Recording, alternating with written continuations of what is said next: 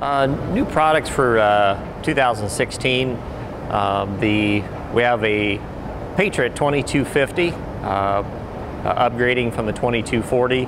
Uh, the 2250 is a, uh, a smaller class sprayer, 660 gallon uh, product tank. We can put an 80 or 90 foot boom on that machine.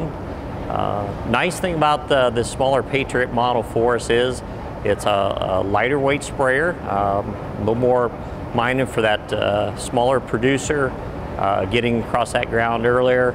Um, also has uh, up to 62 inches of uh, crop clearance for us, so it gets us a little later uh, spraying uh, later in the season.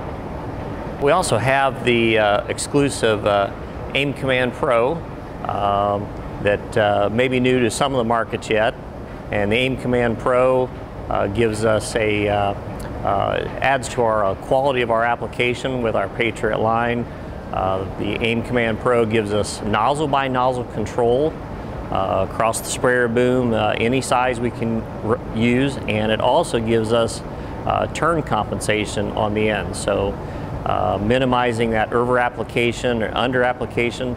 So again, really aiding to the quality of the spray application.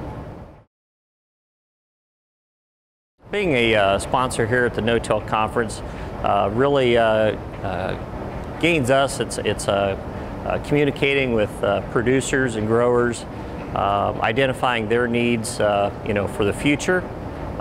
gives us the ability to look at our products and how we adapt them in the future and make modifications to, to meet the growing needs of the producer. and, and of course all the networking with customers and, and other vendors here to, to help us grow with our products.